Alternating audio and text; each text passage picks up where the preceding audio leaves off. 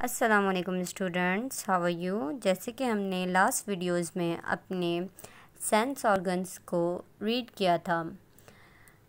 Last videos में हम अपने थ्री सेंस ऑर्गन को पढ़ चुके हैं। आगे हम अपना फोर्थ सेंस ऑर्गन आज रीड करेंगे। Page number eight the nose okay सबसे पहले मैं आपको जिस तरह लास्ट वीडियोस में भी करवाया था रीडिंग करवाने के बाद समझाऊँगी उनके फ़ंक्शंस उनका वर्किंग प्रिंसिपल कैसे वो वर्क करते हैं और क्या फ़ंक्शन है। The nose has three main functions first it helps us to breathe it also moistens and filters the air we breathe the tiny hairs in the nose called cilia, trap dust particles and other minute objects and stop them from entering our lungs. ठीक है? सबसे पहला function nose का क्या होता है कि वो हमें ब्रीथ ब्रीथ मतलब सांस लेना ब्रीथ मतलब सांस लेना। सबसे पहला फ़ंक्शन ये है कि वो हमें सांस लेने में हेल्प करती है, मदद करती है सांस लेने में। हम सांस अपनी किसके थ्रू ले सकते हैं? नोज़ के थ्रू ये हमारा क्या है? नोज़ ये हमारे जो नोज़ के जो दो होल्स होते हैं इन्हें हम नॉस्टिल्स कहते हैं। इनके थ्रू हम क्या लेते हैं? सांस लेते हैं ठीक है? और इनके अंदर हमारे छोटे छोटे बा, बाल जो होते हैं हेयर्स उन्हें हम कहते हैं साइलिया ठीक है? उनका क्या काम होता है कि वो हमारे जैसे ही हम सांस लेते हैं हम हमारे अंदर क्या जाती है? एयर अंदर जाती है। उस एयर में हमारे छोटे छोटे मॉलिक्यूल्स छोटे छोटे ज़रात होते हैं, उसमें थोड़ी सी डस्ट भी आ जाती है, ठीक है?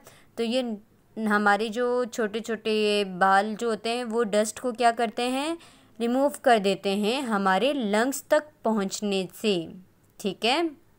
बचाते हैं हमें। Second It allows us to smell the world around us. This is very important because it is not just nice smelling things that our nose tells us about. It also lets us know when bad smelling things are nearby. This can help to alert us to danger. ठीक है? Nose हमें एक तो सांस लेने में help देती है और दूसरा हमें स्मेल करने में स्मेल करने में मतलब सूंघने में, ठीक है? एक हमें सांस लेने में हेल्प करती है और दूसरा स्मेल करने में, ठीक है? और ये स्मेल सिर्फ़ हमारी अच्छी खुशबू ही नहीं हो सकती, बल्कि गंदी खुशबू भी हम अपने नोज़ के थ्रू सूंघ सकते हैं, ठीक है? Do you know what the third function of the nose is आपको पता है नोज़ का थर्ड फ़ंक्शन कौन सा है? It allows us to taste what we are eating you might think only the tongue does that but much of the pleasant sensation we get from eating tasty food comes from its smell आप हमेशा ये मत सोचें कि सिर्फ़ हमारी जो ज़बान होती है, वो ही हमें मतलब टेस्ट जायका चखने के लिए काम आती है, बल्कि हमारा नोज़ भी एक बहुत अहम पार्ट अहम किरदार निभाती है। विथआउट स्मेल विदाउट हम सूँगे बगैर, हम अपना टेस्ट इंजॉय नहीं कर सकते, ठीक है? क्या आप नाक बंद करके खाना खा सकते हैं? क्या आप नाक बंद करके अपनी आइसक्रीम या अपनी बिरयानी को एंजॉय कर पाएँगे? बिल्कुल भी नहीं। लेकिन जब आपका नोज़ भी ओपन होगा, आप सूंघ कर कोई चीज़ खाएँगे तो अब आप आप जायका बता सकते हैं। आराम से आप बोल सकते हैं यमी बहुत मज़ेदार है। क्योंकि आप, उसकी स्मेल से भी मुतासर होते हैं, ठीक है? Have you ever wonder why you sneeze You sneeze when the inside of your nose is irritated.